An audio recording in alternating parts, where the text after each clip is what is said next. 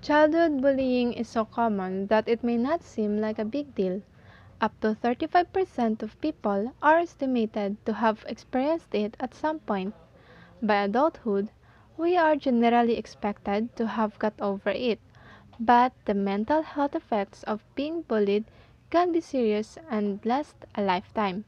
One study has even suggested that when it comes to mental health, bullying is as harmful as child abuse, if not worse.